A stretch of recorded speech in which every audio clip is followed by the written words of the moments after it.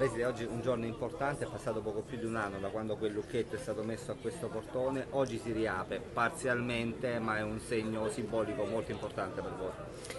Eh, oggi è un giorno speciale per noi perché ehm, dopo un anno di sofferenze, di patimenti eh, nel quale eh, ci sono stati una serie di passi, di passaggi che ci hanno consentito di arrivare a questo giorno, finalmente eh, riusciamo a riavere eh, la nostra sede eh, anche attraverso l'ingresso simbolico della, della, della, nostra scuola. Oggi riaprono i battenti, come è stato scritto, dell'Ipsia Ferraris, anche se in maniera parziale. Una parzialità che comunque per noi è un grande successo perché era insperato fino a, a, ad un mese fa eh, la possibilità di poter riaccedere. Eh, un anno fa io ho chiuso questo portone eh, invitando i ragazzi e tutto il personale a ritrovarci per ridare dignità ad una scuola, per ridare dignità alle persone che ci lavorano e per ridare dignità ai nostri ragazzi. Ecco, oggi ridiamo dignità al personale amministrativo, al personale ATA, che per un anno ha lavorato nel laboratorio Voci in Movimento, un unico ambiente, 16 persone, in maniera assolutamente encomiabile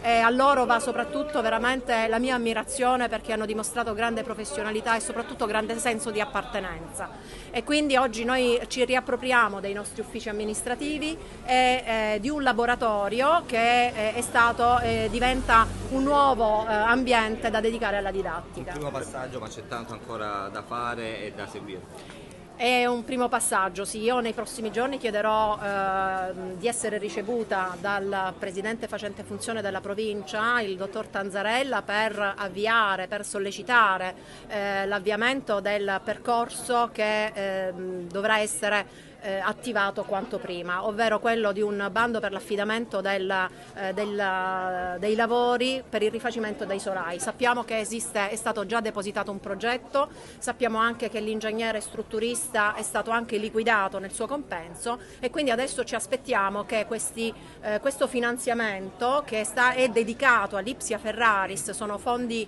ehm, per l'edilizia scolastica, sono 850 mila euro, siano eh, effettivamente veramente ehm, fruiti, utilizzati per rendere quindi la scuola nuovamente agibile. Sappiamo che c'è anche un altro progetto che ancora non è stato approvato dalla Regione, quello sull'efficientamento energetico, che farà della nostra scuola eh, un, un fiore all'occhiello dell'edilizia scolastica brindisina.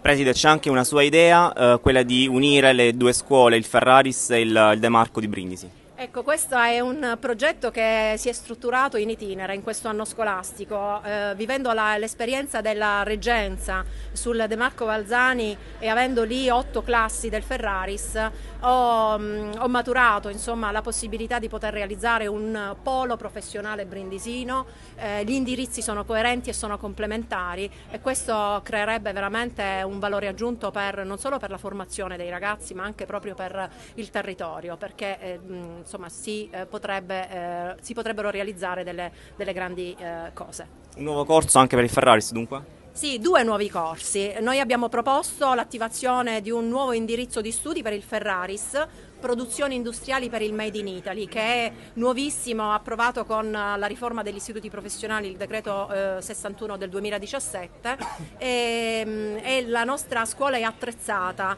in questa direzione, produzioni quindi di carpenteria, di eh, prodotti metalmeccanici pesanti, ma anche produzioni eh, per l'artigianato, per la valorizzazione dell'artigianato locale, ferrobattuto, rame, mentre per il Demarco abbiamo richiesto l'attivazione di, di un un indirizzo servizi per la cultura e lo spettacolo per la, ehm, la profilazione di una, di una professionalità fonico eh, saranno vostri concorrenti, probabilmente i nostri ragazzi, montaggio audio televisivo, sceneggiatura, quindi tutte quelle figure professionali che ruotano intorno a questo ambito.